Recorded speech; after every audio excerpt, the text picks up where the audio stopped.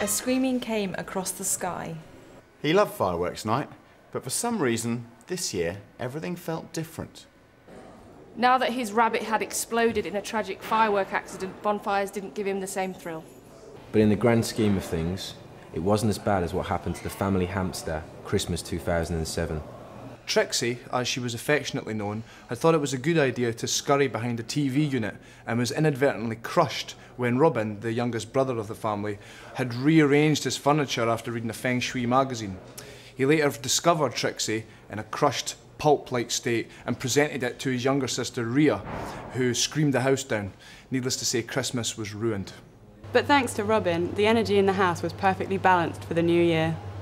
But all of a sudden, the guests turned up early. And slowly walked towards the cabin door. They shuddered with fear as the trees whistled in the wind. Y los pájaros cantaban aquella canción de Elton John. Como una vela en el viento. Na na na na na na. Unfortunately, Pussy, the farmyard cat, was sitting on a fence watching and thinking, hmm, dinner time. The end.